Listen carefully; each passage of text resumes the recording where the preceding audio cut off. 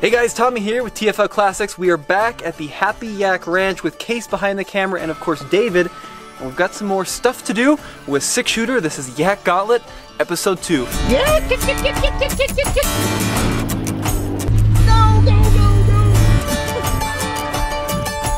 I'm hurting him along the racetrack. this has not gone well. I'm losing a lot of time here. This is what we call the Yak Gauntlet, a test of durability for an old truck doing stuff at David's Yak Ranch. In this video, we're going to see how the F-150 fares smoothing out a bunch of rutted out fields. We're also going to run it through a race course and just for kicks, why not a tug of war with a Gladiator. Man, I have no power whatsoever. It just doesn't have it anymore. I think we may have killed this poor truck. Yeah, since you were here last, I put a few mods on it, and uh, you know, what's a truck without a hood ornament? I did fix the bed you destroyed. Me? Yeah, Destroyed? yeah, you did. I did figure out that when I bolted this on here, I bolted through this rotted out plywood. So I sent the bolts through here this time. Okay. And then I attached everything a little better. So I think it can handle a lot more weight now. Alright, so the first test for the 1990 F-150 is we got to break up with the yak turds. Yeah, the yak turds. Yeah, we got a bunch of yak turds in the field, but more importantly, David has built a racetrack, and we got to smooth it out a little bit. It's going to be a good test for the F-150 though, because now there's a big steep ravine, and it's also kind of rocky back there. So we're going to hook up these tires behind the F-150, which don't look like much, but weigh a ton, and then we're going to see if David can uh, drag those turds.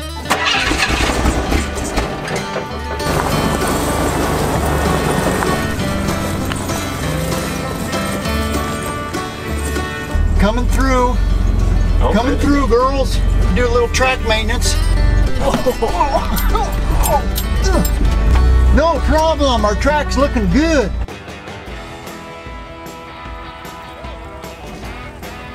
Here goes nothing.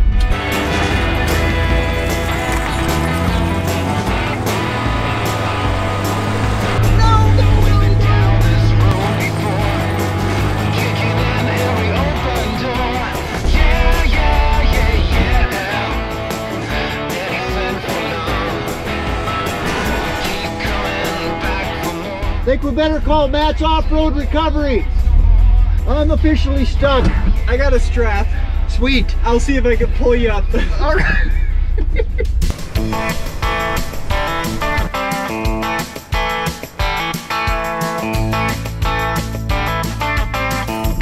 Hold on, Tommy, my engine quit.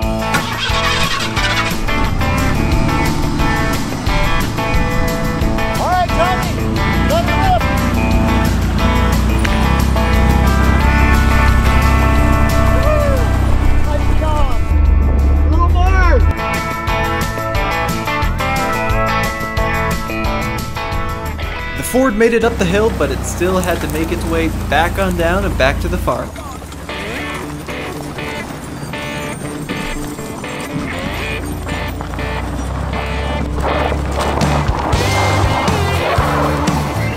Get me out of here, Six. Come on. Come on. That wasn't good. All right, she's still alive.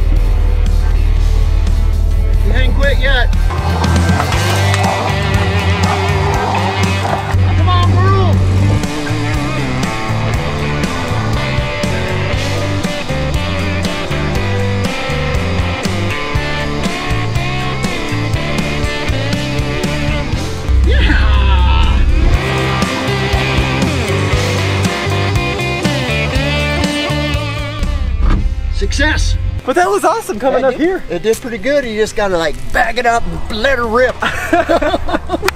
All right, so we know that that truck is capable of actually flattening out this race course. yeah. I think we should try, just for kicks, a tug of war with the Jeep. Oh, Now there's a good idea. All right, I've challenged Tommy to a tug of war.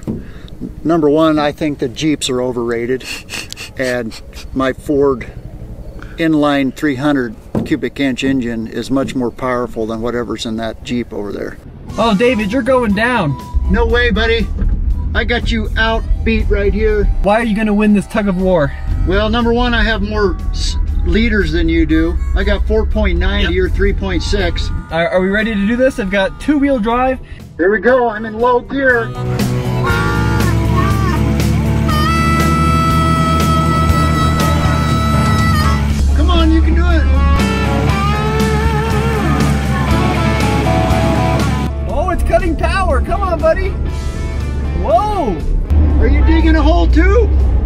Think we're both just digging a hole. All right, should we try it again? Let's give it a try again. For the second run, I left the Jeep in two-wheel drive, but turned off traction control, and the results were pretty dramatic.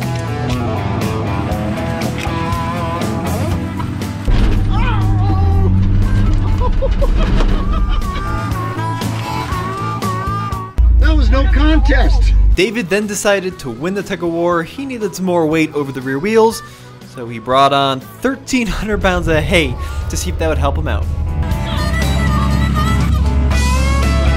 Man, I have no power whatsoever. Just doesn't have it anymore.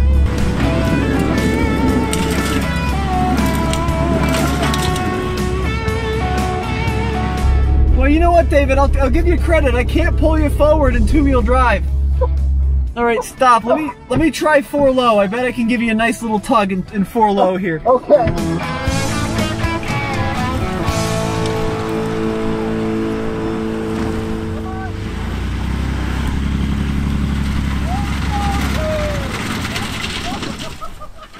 Yeah, I challenge you to a race as well Okay. around the Yakadega 500. Okay, cool. So, David, you strap down the bale. Yeah, I feel like it makes me a little more, I don't know, competitive because it gives me traction. and we got a couple cameras rolling, and we're gonna do the new course, right, with tho- those new hills. Yeah, we're gonna go down in the creek and, and back up, and hopefully I can come back up. Nice, nice. Yeah. All right, well, let's see what old six shooter. Yeah, I'm hoping, I think I compromised six shooter a little bit by working it so hard. So, you know, I hope she finishes. We also got some uh, some terrain challenges. We do, we got yaks in the way. Hey, that's just part of the course out here on the Yakadamia 500. There it is. Yaka, uh, what? Dega. How come I can't remember that? Yakadega 500. All right, buddy. Good luck. In three, two, one, go. Go. Come on, girls! Out of the way!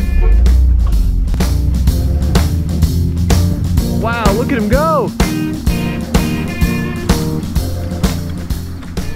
It does ride so much better with that big yet bale on the back. Oh, yeah. Oh, oh. All right, I'm gonna have to give her some gas coming up through here. I hope I make it. Here we go. Here we go. Oh, yeah, I made it. Woohoo!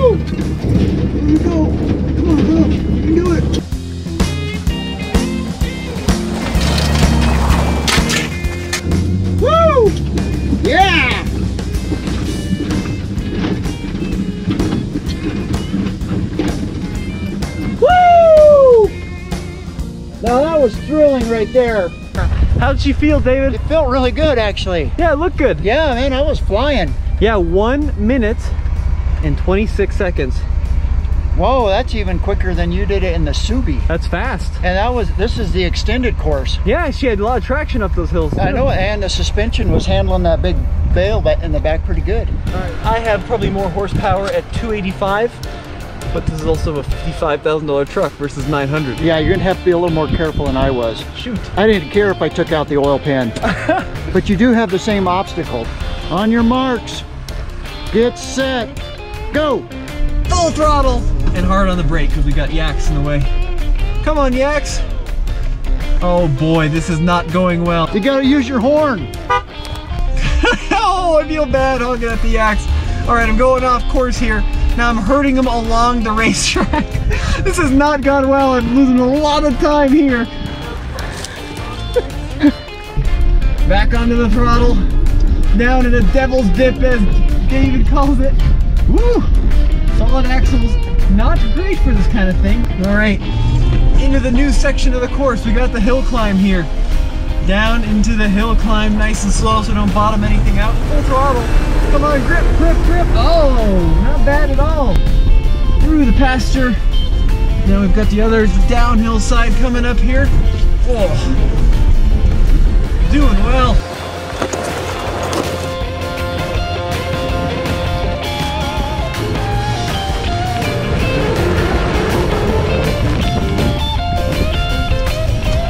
I can't believe it, Tommy. You beat me. No, I didn't. 124.31. So the Gladiator won, but good performance by the 91. Well, it was surprising. You know, when you put that much weight on it, it, it rides really well.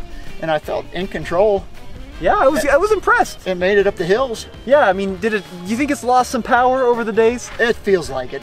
Yeah, I mean, Yeah. we did overheat it pretty good that one time, but you know, it, it's just a testament to how you know bulletproof these 300s are. I mean, it still it still keeps cranking along. It still runs, just like everybody's been telling us. Hadn't given up the ghost completely. No, it's still it's still still working. Let us know in the comment section below what else you want to see with six shooter, what other ideas you have, because at this point onward, we're open to any suggestions. Yeah, agreed. Agreed. All right, Case, thank you so much for filming today. David, thanks again for letting us come out here and destroying your field. I feel bad about that. Hey, that's all right. No problem, and look forward to next time. Yep, look forward to next time. Thanks for watching.